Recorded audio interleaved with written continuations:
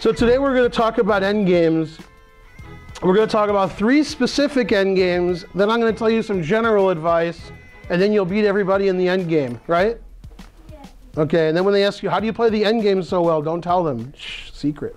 Okay, there's three endings you should know. This is the most important.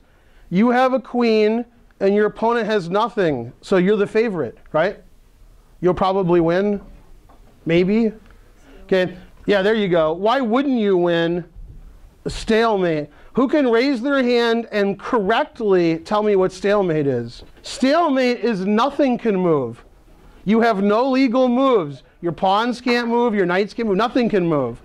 If nothing can move and it's your turn and you're not in check, that's that's stalemate. When it's stalemate, who wins? Nobody. So if this ended in a stalemate, which it probably would if you guys were playing, who would be happy, white or black? Black, because black should probably lose this position, but he didn't. He got stalemated. And white should probably win. So if white stalemates, then white's not very happy either.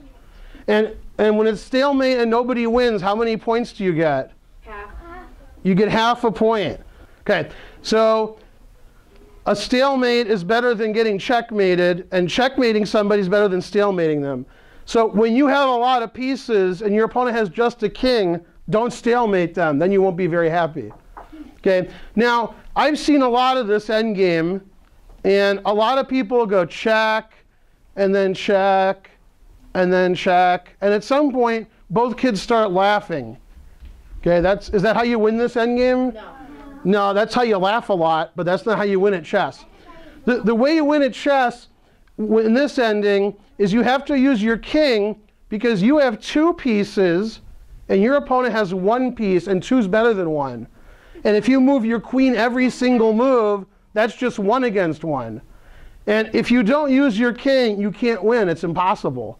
You need your king to win. The queen by itself can't checkmate. Yes. Queen e5 check. Queen c5 is a good move. Okay, but I'm more interested in move two. Move two is actually going to be the important move. Okay, so here, their king is really far from our king, so I move my king closer. And I always move my king towards their king. I don't care what the position is. I always do that. I, I need my king near their king. And here, I can't move my king near their king because the computer won't let me. Well, So in those instances, you should buy a new computer. you can go. You can go 5G though, and you still. You go- could, but I'm like the same number of squares away. Like if I did this, there could be another, there could be more laughing going on. And I've seen this too. I've seen this, everybody starts laughing. And I'm like, well, checkmating your opponents laugh after that. Okay, now sometimes my computer's broken, and you know how I fix it? A whole new computer fixes it right up. Okay, so here, okay, so here I can't, so I'm going to play queen here. Or I could play here or here, it doesn't matter. Okay, now, in a position where a king is on a back row, and there's four back rows, and if you're in France, the second highest rated player in France is Bacrot, right? It's true, yeah, that's his name. Okay, he's not the best because he's back row. So, okay, if your king is on the back row and you have the queen, you want your queen on the next row because that way the king can't leave. Right? And some people said chess players were squares, right? Nothing? And then Yeah. the third. Well, that actually that's correct. Okay, but I don't have a I can actually do yellow, but I don't know how. Should I call Coldplay?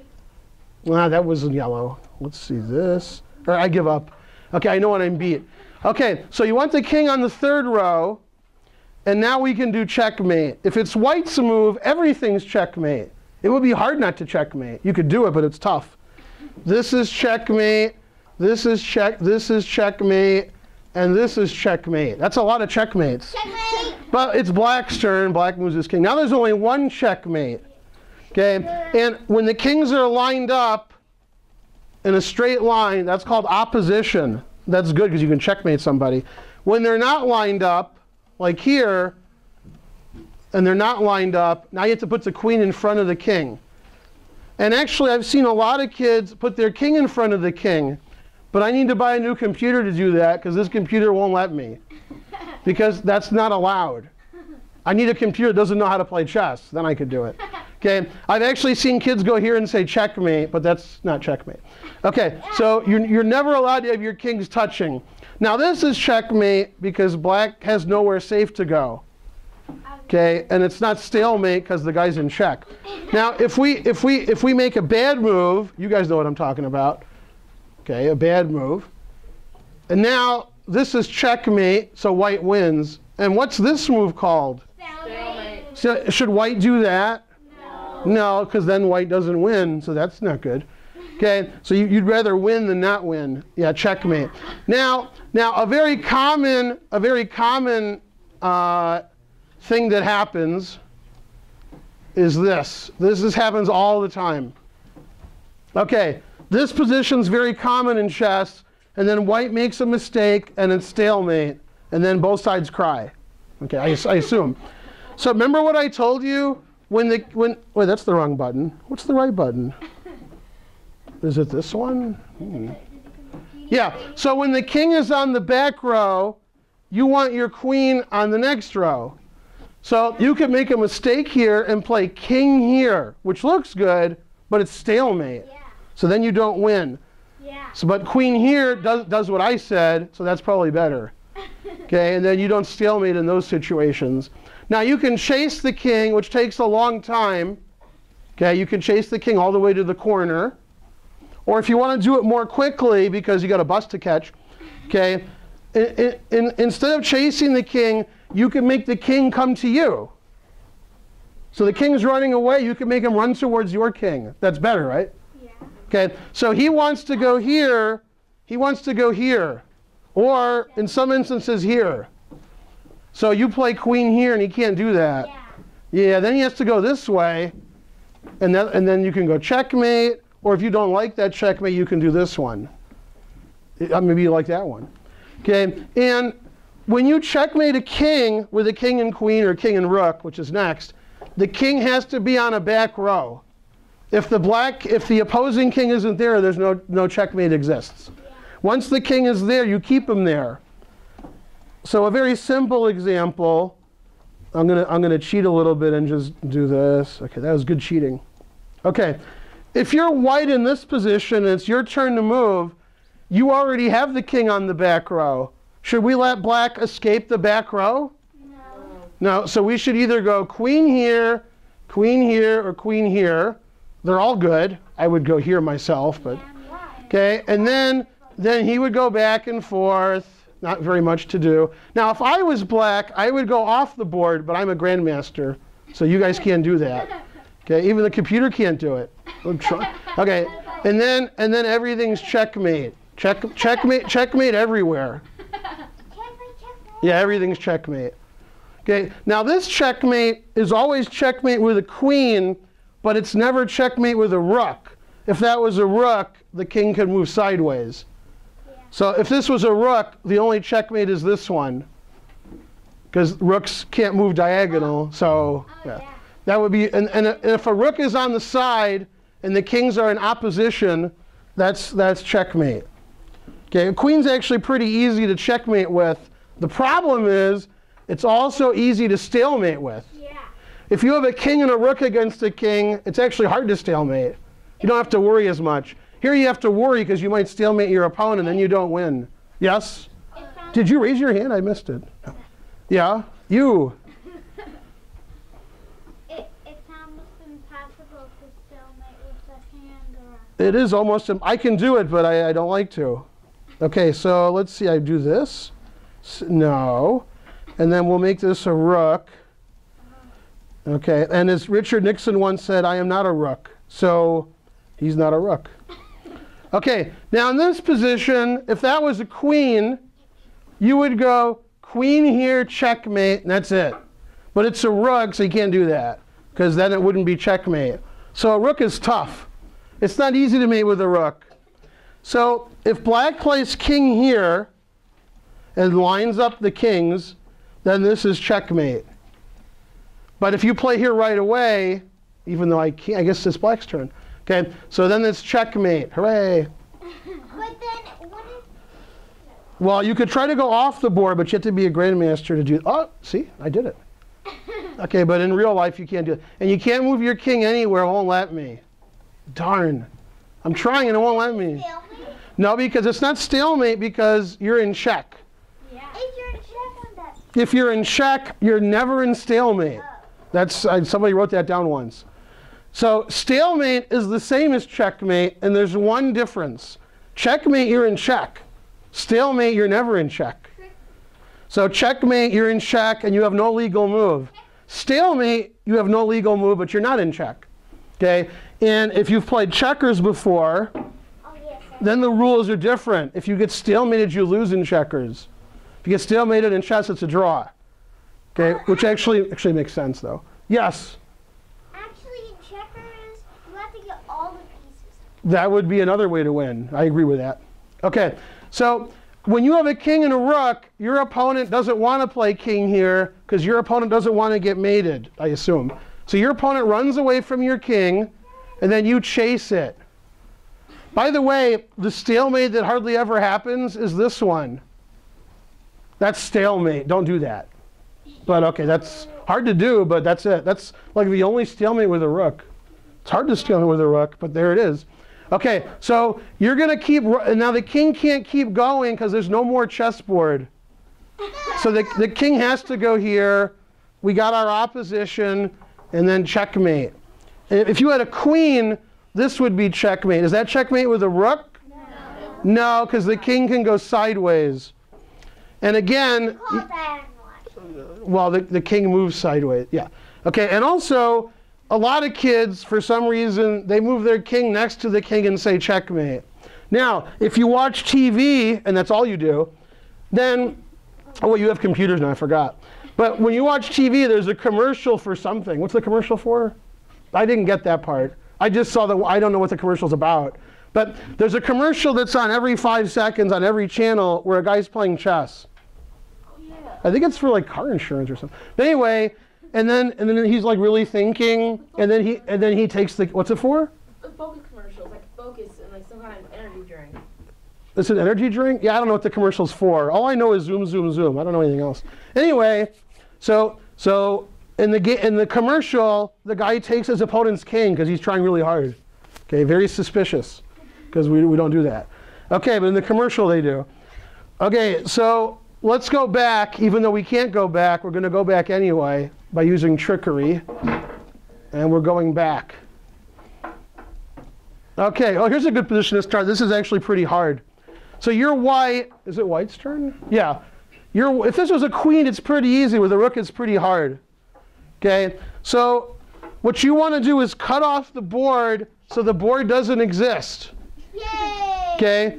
Like take scissors and cut the board. Then the guy can't move his king there because there's no chessboard. And you can actually do that with a rook. You can cut the board off so the board doesn't exist. So yeah, so let's play this move.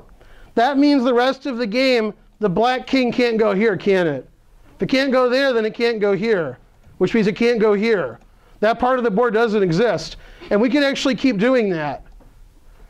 Yeah. Oh. Yeah, and he yeah, and at some point he's going to go to a back row and then we're going to checkmate him. Wow, that's a really good way how to check. Yeah, and now like where do I go? I can either go to the second rank here or the second rank here. That's unfortunate. Let's go to the second rank here. So turn your head sideways, that's the second rank. Otherwise, it's the fourth rank if you're looking straight. Now we just make a move like this, and black has to cry. When you have a king and a rook, you make a lot of waiting moves that don't do anything because then black has to move into a bad position. Black either moves to the back rank, which he doesn't want to do, or he lines up the kings, which he doesn't want to do, and then you check him to the back rank. Hooray! And we're almost, now a lot of people would go here, and now white has checkmate in two moves, and there's six answers. Is that enough answers? It's basically all six of these squares. Okay, this one's the closest, and then checkmate. If you don't like that checkmate, you can move your rook really far away. And. And if the- he only has one line. King goes here, you go checkmate. And usually what happens is the king runs away and you chase him, and the board runs out of room. and then he has to line the king up, and you checkmate. Yay. Wait, is king here checkmate? No. How about rook here? No. No, none of that's checkmate. Okay, and you'll notice I hardly ever put black in check. When you don't know how to mate with a rook, you don't know what you're doing, then you go check, check, check, check. That means you don't know what you're doing. What you're trying to do is force the black king the, to one of the back rows here. Then you can put him in checkmate. Just like with, just like, wow, that's a funny diagonal there. Just like with a queen. If every move you make is check, you're not doing it right.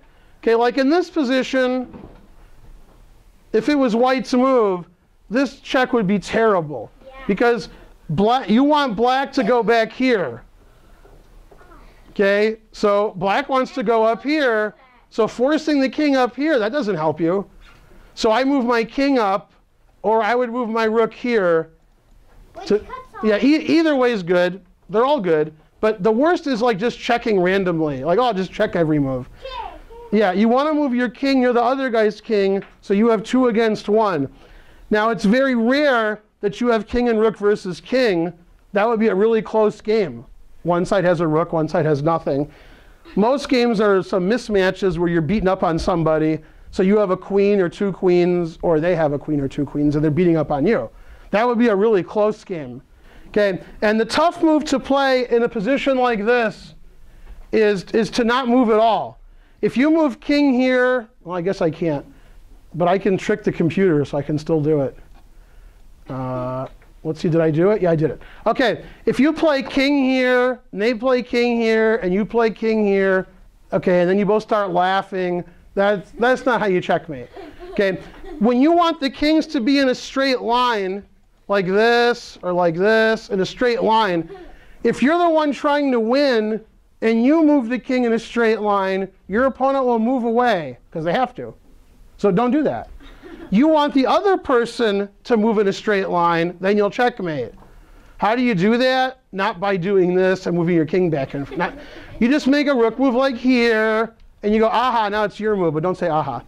Okay, now if they go here, you checkmate. And if they go here, you chase them and, and, then, you, and then you checkmate. Now I'll show you one more thing. And then, okay, you're white in this position, right? Yeah. Well, again, if you oppose kings, they're going to move their king away. Yeah. You want the other guy to oppose kings. But if the guy moves his king away from your king, he's going to attack your rook. So I move my rook over here. Now he's not going to attack my rook. He can try to attack my rook, but I'll checkmate him first. So if you want to attack my rook, you want to go here, but that's illegal. So you go here first, checkmate. Okay, so you run away and I chase you, and the chase always ends in the corner. If you don't want to go in the corner, you can get checkmated quicker. Okay, but you run in the corner, and now and now you're forced to go here and then checkmate. I hate when that happens, unless I'm white, then I like it. And I heard in the last class with the teeny tiny kids, they're like this big. They were in some movie I saw. Honey, I, I shrunk my chess opponent. Okay, the, they, they beat the guy who was teaching, so they kicked that guy out, put me in. Is that what happened? No. Something like that happened. That was like half right. Okay, now the most interesting endgames aren't these, because I win these too easily. The most interesting are king and pawn endgames. Clear. Yeah. Yeah, like you have a king and a pawn, and your opponent has a king. I sort of love this. Okay, so when you have a pawn in the end game, you would like to go all the way to the end and make what? A queen. Queen, okay, or in checkers a king. Now, in the end game, there's three things that are better than the opening. In the opening, you want your king to be safe. So you castle, you never move your king up, and you surround your king with pieces. In the opening, you never put your pawn on the back row because your pawn doesn't let you. In the opening, your rooks are in the corner and they never do anything.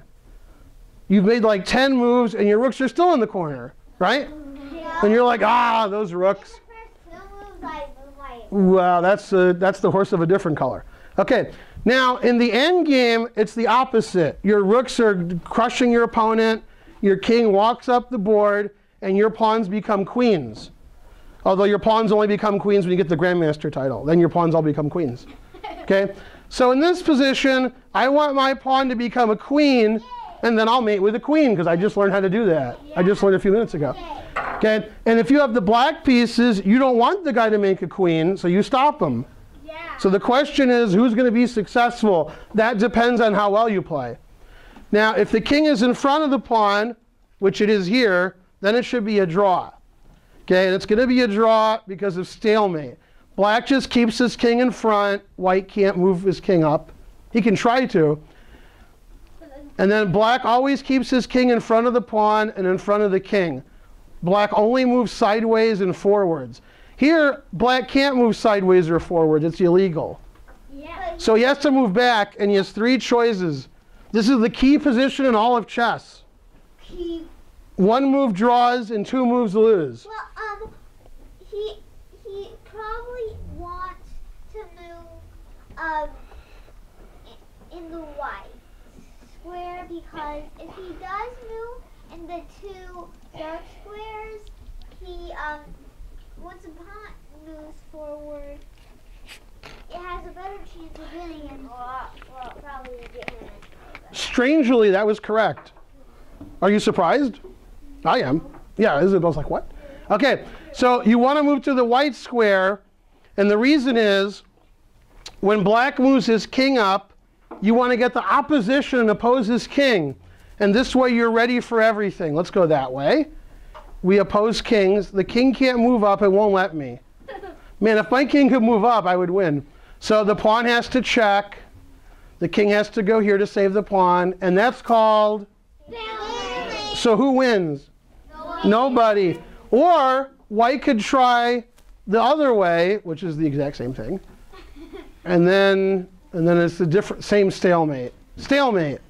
Now let's say black makes a mistake and goes diagonal to here.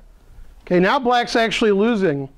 White goes here, black has to go here, and then white, black has to give way, and white makes a queen. Yay! And then white should win because I taught you that earlier. So in this position, you want to move your king back and forth. That's easy to remember. You always go back and you always go up. So if your opponent lets you go up, you go up. And then you go back. And then you go up. That's hard to remember, isn't it? Okay. Now what a lot of kids do here is they see the king over here and they're like, oh, opposition. Now that loses. You have to go back and forth. So you go here, and then if he goes here, you get opposition. And in fact, this is a draw when the king is in front of the pawn. So this king is in front of this pawn, it's a draw. If we switch the kings, then sometimes white wins, and then you'll be winning. There's a rule. If you have king and pawn versus king, both sides want their king in front of the pawn. You always want to move your king up, not your pawn. Move your pawn up, the guy will take it. If you move your king up, then your king can escort the pawn home. Okay, so for example, if the president's driving in a car and they want the car to be safe, do the Secret Service, are they a mile behind the car? Or are they in front of the car? The answer, the answer is both, but, but they're, not, they're not behind the car and then the front of the car is not protected. They don't do that. Okay, they got it everywhere protected. So if you want to make a queen with this pawn, you gotta, the white king got to get over there and help. Otherwise, it's going to be a stalemate. So what we can do is we can do the switcheroo. You guys ever done the switcheroo? Okay, we, we, we put the white king here. Lots of white kings. Okay. Now, if, if a grandmaster walked in and I said to him, is this a win or a draw? What would he say? Oh, a draw. A draw. So far, nobody has the right answer. A lose. You would leave. Nobody, nobody has the right answer. Yeah, what's the right answer? What? Well, both is the right answer, but you don't know why. He would say, I have a question. Whose turn is it? And then when I told him whose turn it was, then he'd give the right answer. Okay? So if it's white's turn to move, it's a draw. If It's black's turn to move, black loses. Because this is the opposition. Both sides have a perfect position. So if white moves, black just follows white, and white can't do anything. And then eventually, white's going to give up trying to move his king forward. He's going to move his pawn forward, and we already saw this. Remember the stalemate we just looked at? Stalemate. Okay, on the other hand, if it's black's turn to move, which I can do by tricking the computer, uh, I can push black to move. That was easy. Yeah, now black's losing because wherever black goes, white's going to move his king up. There's no way black can move the king and stop all those moves.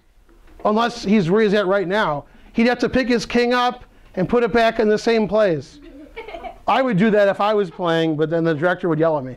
Okay, so let's say we go to the side, white goes up, and then we go here. And now the king protects all these important squares, so the pawn just queens. The next four moves are all pawn moves, all of them. And then white makes a queen and white wins. Because white's king is helping out his pawn. White wants to move his king up. So both sides want their king in front of the pawn. And if it's black's turn to move here, black loses because white gets to move his king way up and help his pawn out. And if it's white's turn to move, it's a draw because then white can't move his king up. It's illegal. Ah, I guess I flipped board by accident. That was funny. Okay. Now I know how to flip board without even trying. Before I try and I can't do it. So trying is the first step to failure. Can't fail unless you try. Okay. So yeah, so let me ask you this question. Where should white move his king here? There's a lot of possibilities, right? Where should white move his king? Uh, yes. D6. Then white's winning. Hooray. Also, king D5, white's winning, but we won't tell him that. Okay, and then, yeah, there's, the, the, the, the king is escorting the pawn. Yeah, yeah, yeah. Yeah, I hate when that happens. Unless I'm white, then I like it. Okay, and then when you make a queen, you win. Now, what are the diff- What are the differences between the opening and the end game? In the opening, you guys get lessons every day. They're like, get your pieces off the back row, castle, don't make 27 pawn moves in a row, play in the center, and then you guys don't do that, but people tell you to do it. Okay? In the end game, you can't be like getting your pieces off the back row. There's no pieces. And they're not on the back row anyway. Right? So the end game is different. In the end game, you want your king to be active. You want your king to go take stuff. You want to promote your pawns to queens. In the end game, sometimes you have a lot of pawns that can become queens. In the opening, your pawns can't become queens because there's 8,000 pieces blocking them. Your opponent doesn't want you to do that. And your rooks want to get really active in the end game because they start in the corner and they can't move. In the end game, they want to go to the seventh rank, and I'm going to tell you why the seventh rank is a secret. It's a secret everybody knows. Yeah. Okay, so let's get a random endgame that I made up. Okay, here's a random rook and pawn endgame. Both sides have the same pawns. Okay, so it should be a draw because both sides have the same pawns. Now, if it's white's turn to move, white has two advantages. White's not going to get mated on the back row because white has a square for his king, and black will get mated on the back row. If black's rook leaves, it'll be checkmate. The other advantage is it's white's turn, so white goes to the seventh rank. That's where all the black pawns are. And now black's king can't move up. Black, okay, so black doesn't want to lose any pawns, and black goes here. And now white can move his king up the board, and black can't do anything. If black moves his rook, he'll lose his pawn. If black moves his king this way, then he'll lose this pawn. So black should probably play like g6. Well, it's not his turn. If black plays g6 and then tries to move his king up, he still can't go here because he'll lose his pawn. So the white rook is much better than the black rook. It's on the seventh rank. And you want your rooks on the seventh rank in the end game, then your opponent can't do anything. Now what? What's that? Now what a lot of kids do, unfortunately, and Ben Simon, for example, is they like to put their opponent in check. Nothing is more fun than putting your opponent in check, right? So in this position, they play rook here check, yay. Then their opponent goes here and they're like, ah. Okay, well, black wants to move his king up, and black doesn't want all his pawns attacked, so white should put the rook on the seventh rank. Actually, this check is a good start, then the seventh rank. Seventh rank is great. That's where all your opponent's pawns start out, right? Now, let's imagine a situation where your opponent moved all their pawns. Who knows? I don't know how they did it, but they did it. They moved all their pawns, and they have this position. Your rook is still good on the seventh rank. It doesn't attack any pawns, but it keeps the black king from moving up. It's sort of like king and rook versus king. The king can't move up. So white's king can move up, and black's king is stuck. So the seventh rank, even if there's no pawns, is still good because you're stopping the opponent's king from moving. And the, the thing that I see a lot, okay, it's black's move, fine. Okay, this is the worst. If you had white in this position and you go check and check, then you're just helping black move his king up the board and you could have just stopped him completely. Now black has the advantage because black's rook is good and his king is better. So you don't want to check your opponent's king up the board in the end game. You want to check your opponent's king up the board in the opening. And if your king's walking up the board in the opening, you're going to get checkmated because your opponent has a lot of pieces. Here, black's not going to get checkmated. If somebody was going to win this endgame, why would they win? What would the winning idea be? Are you going to checkmate with a rook against another rook? No. That seems difficult. Yes. You would um, get a pass pawn and get to the end, hit the queen. You would get a pawn all the way to the end and get a queen. If nobody ever gets a queen, it's probably going to be a draw. If somebody gets a queen, they'll probably win. Yeah. So you want pawns to become queens. Here, no pawns are becoming queens. So nobody's winning yet. So you want, in the end game, when there's very few pieces left, you want pawns to become queens because a rook's not going to beat a rook unless your opponent gives their rook away for nothing. Then a rook will beat nothing. So, but if you have, a, if your pawn becomes a queen, then you'll win. And sometimes you'll even sacrifice material to do that. You'll give a knight away because you want to make a queen. Queen's better than a knight. Yeah. So you're trying to promote your pawn, but there's something in the way. And you're like, ah, I can't promote my pawn. You sacrifice a knight, you sacrifice a bishop maybe, then your pawn becomes a queen. Then you're like, oh, okay, cool. Now, as all of you know, and when I say all of you know, probably none of you do, you can promote a pawn to different things. Yeah. Usually it's a queen, but occasionally something else. Uh, king here. Is this right? Yeah, that's right. Is it white's? Yeah.